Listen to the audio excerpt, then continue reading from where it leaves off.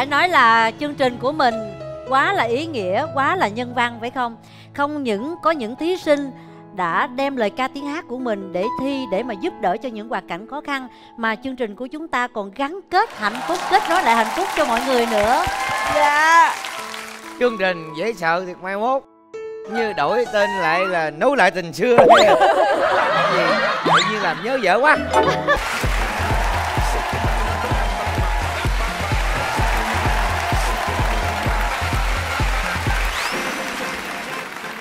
chào mọi người. Hello mọi người. Chào chồng đi em. Do vua. Chào vua.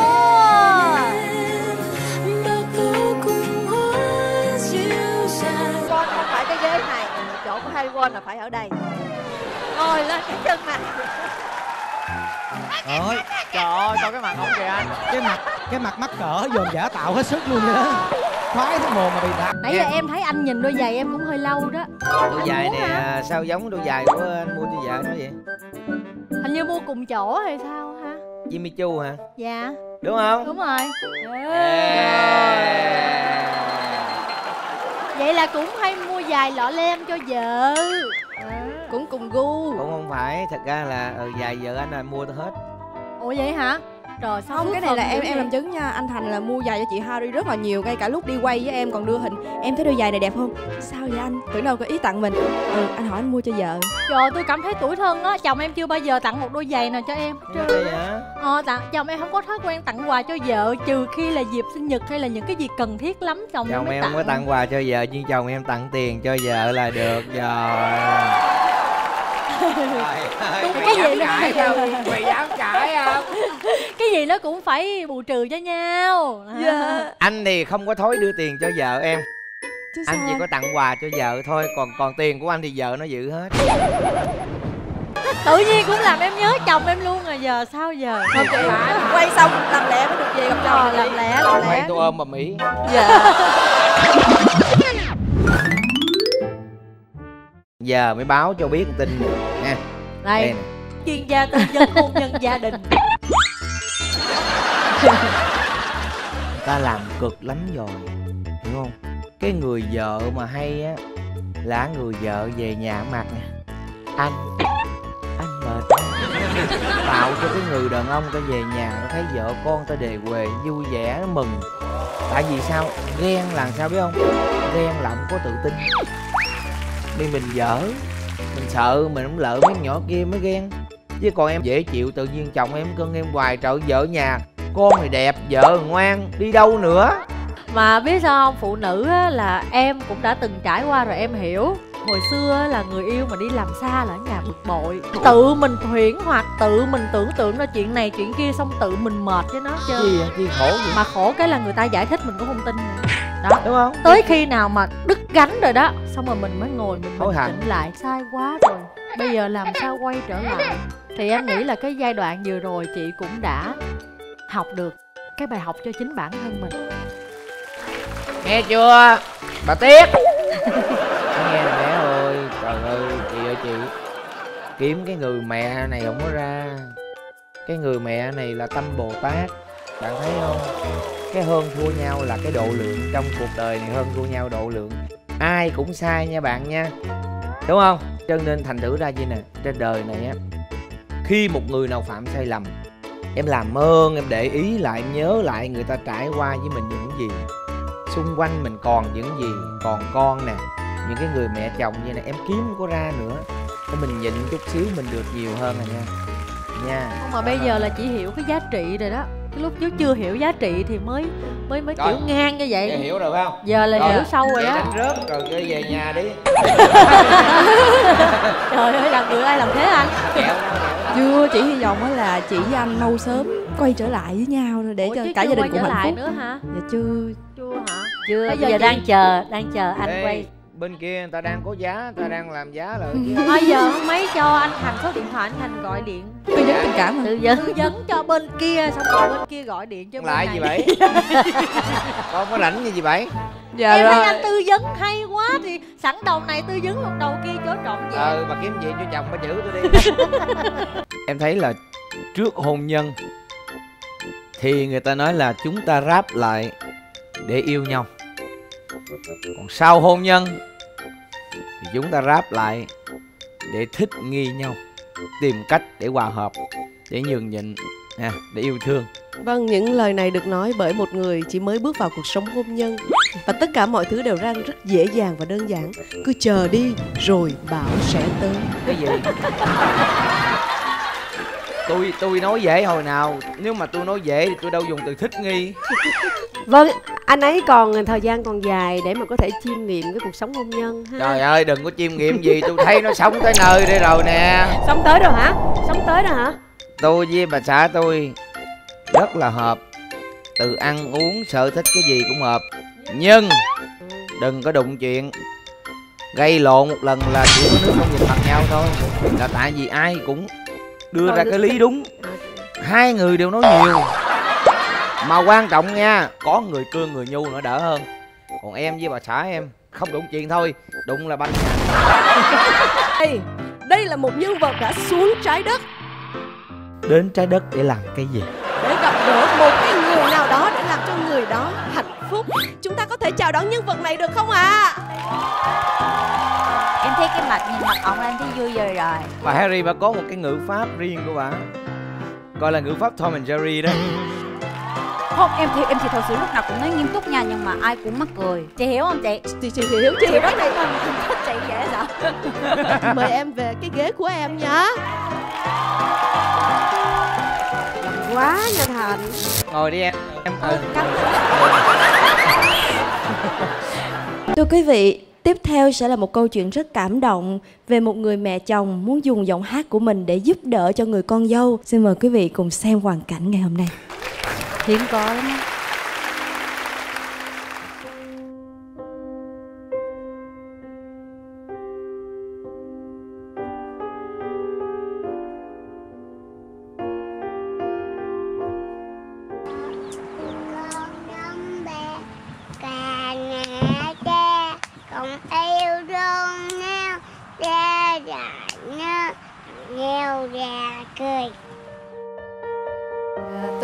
tên Lê Thị Bước, năm nay tôi à, 62 tuổi. Tôi đang ở à, ấp Bình Khương, xã Thượng Mỹ, huyện Châu Thành, tỉnh Long An. Hiện tại thì tôi đang à, mai gia công, lãnh đồ mai gia công về tại nhà.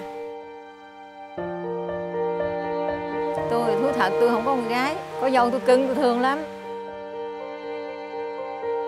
Con dâu lớn nó đã ly dị nay cũng được 4 năm, hơn 4 năm gì rồi. Nó bệnh, nó nuôi con, nó cũng khó khăn lắm. Dạ, tôi được hai cháu. Ừ, cháu lớn tôi là Nguyễn Huỳnh Tuyết Thảo, năm nay nó ừ, 6 tuổi, học lớp 1, còn đứa nhỏ là năm 5 tuổi, chưa đi học. Tính gửi nó hồi năm rồi nhưng mà không có điều kiện gửi, nó ham đi học lắm. Mẹ chừng nào mới đóng tiền cho con đi học được không à? Nó thấy người ta đi học về nó chạy, nó mừng đồ dữ lắm. Nhưng mà em thì không có điều kiện đó nên không có cho đi.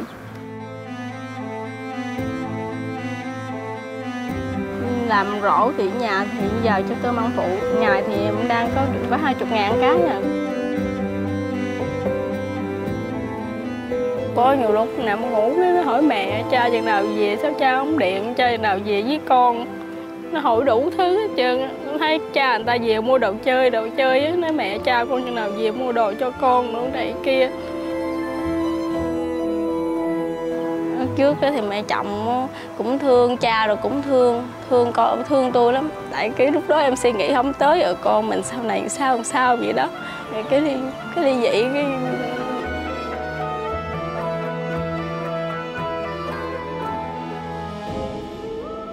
Thời gian đầu thì tôi cũng buồn lắm, Tại vì nó đi vào ngoài rồi, cái bắt đầu nó cũng không cho mình nhìn cháu nữa.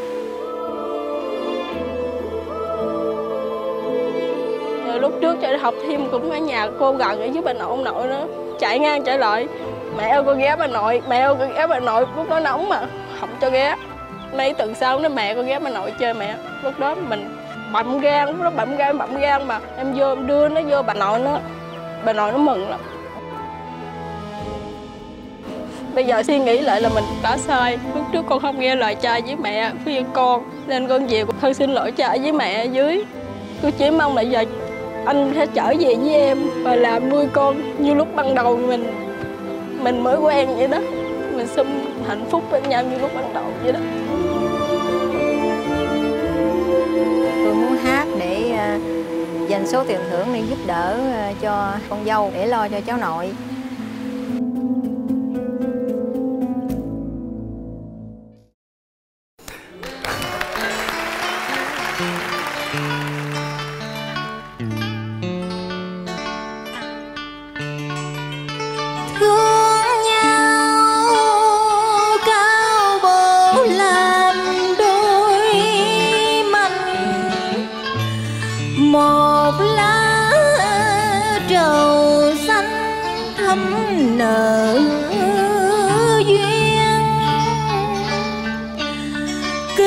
Mỗi chiều nghe tưởng về một cái cô gái trẻ. tan buồn nó cái giọng trẻ đó. em còn hoài vọng bóng người thương. Anh hứa với em khi mình nên duyên nợ thì một lá trầu xanh cũng nên vợ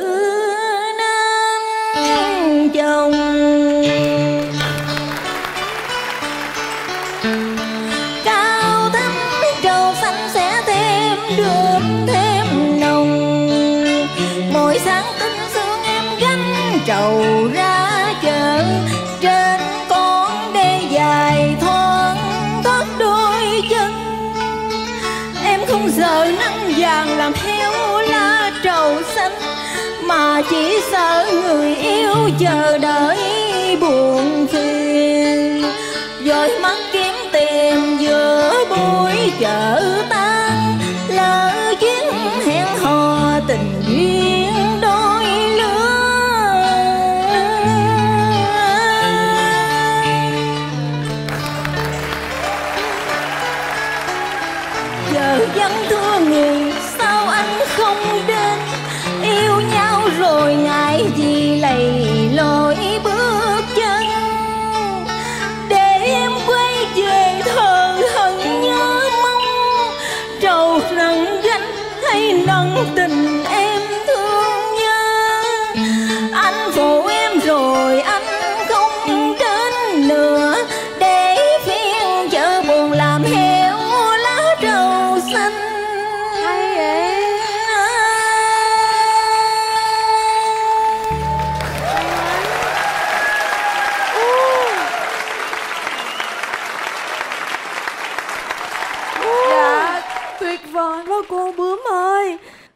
Giờ con ở trong kia mà con con hỏi mấy bạn là ủa đang mở mở đĩa hay hay hay là cô hát thiệt?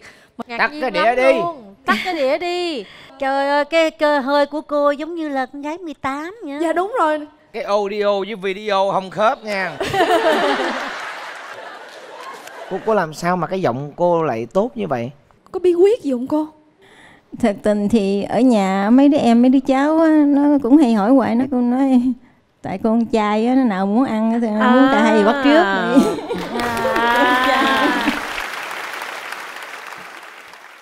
mà con nói thiệt cô ca rất là đặc biệt. Cô nhả chữ ra cái cái chữ cô nó rất là đẹp. Cô nói trong ca ca trong nói nghe nó rất là tình cảm. Để em quay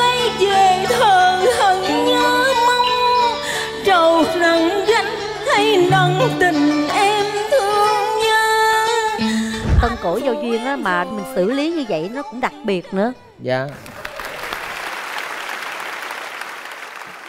Dạ, hôm nay thì à, à, chị Tuyết con dâu của cô bướm cũng có mặt. Em xin mời chị lên sân khấu ạ. Chào chị Tuyết. Xưa hai chồng sao cãi lộn vậy? Dạ anh đi làm sai em không cho. Rồi ghen phải không? Ghen. Dạ. rồi Đó thấy chưa? Rồi cuối cùng ai trúng? Ai trật Dạ em trật rồi giờ ổng đâu rồi? Dạ anh đi làm.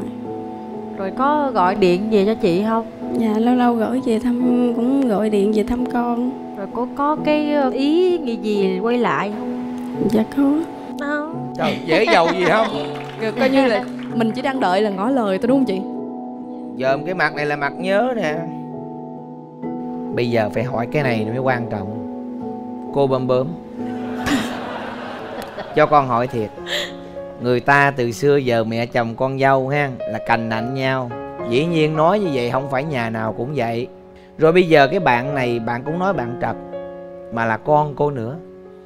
Vậy cớ làm sao cô không giận bạn mà ngày hôm nay cô còn đến đây cô thương bạn, cô hát cho bạn? Thì à, nó đúng ra là lúc mới bắt đầu nó đi, nó đối xử với mình tệ quá, mình cũng buồn. Nhưng mà suy nghĩ lại nói chứ sống với mình cũng mấy năm mình cũng có kỷ niệm mẹ chồng nàng dâu. Cái thấy thương quá nhiều khi thấy nó chở trước một đứa sau đứa chạy đi rồi thấy muốn rớt nước mắt luôn vậy rồi nay nó suy nghĩ nó quay về thì mình sẵn lòng mình hỷ xả chứ cũng đâu có chấp nhất làm chi. Đó là đó là cái tâm của người ăn chay đó anh. Luôn luôn hỷ xả. Dạ trên đời này á người nào phạm sai lầm em làm ơn em để ý lại em nhớ lại người ta trải qua với mình những gì để mình nhịn chút xíu mình được nhiều hơn à nha.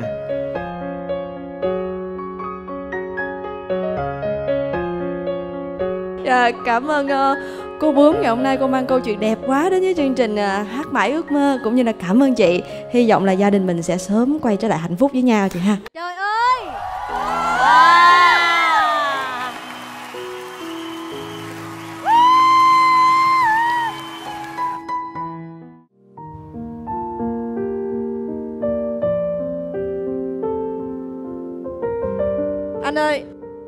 Trong lúc này thì anh có muốn nói gì với chị không ạ? Thời gian qua thì chắc là anh với em cũng giống như là một thử thách nha. Hôm nay là nhờ chương trình hát mãi ước mơ và à, nhờ mẹ làm cầu nối. Chúng con cũng à, xin lỗi mẹ vì đã làm mẹ buồn. À, mẹ cũng cho chúng con một cơ hội nữa để chúng con sửa sai thấy là bà nên nói một cái gì bà muốn bà hôn đấy. Cho nó thiết thực nè. Dạ. Anh cho em xin lỗi. Đúng lâu nay em đã làm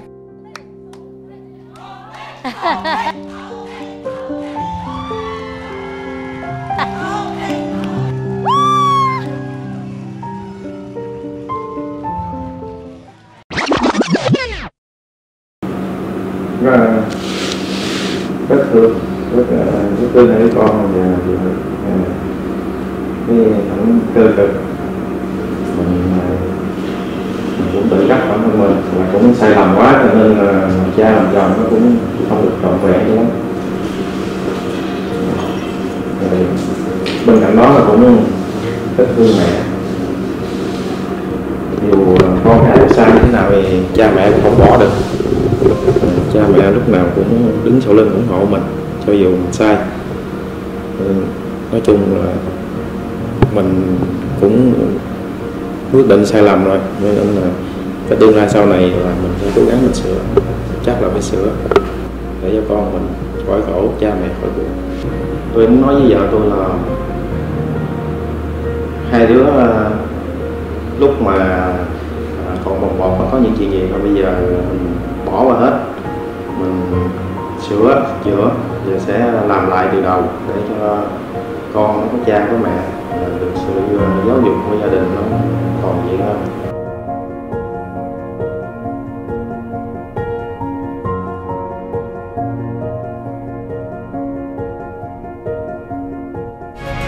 Đón xem tập 5 Hát mãi ước mơ, phát sóng vào lúc 20 giờ 30 phút ngày 16 tháng 8 năm 2019 trên kênh HTV7